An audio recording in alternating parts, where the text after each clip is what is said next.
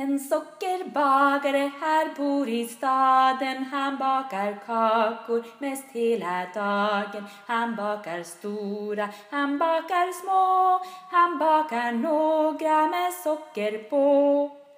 Och i hans fönster hänga julgrönsaker och hästar, grisar och pepparkakor. Och är du snäller så kan du få, du stycker så får du gå.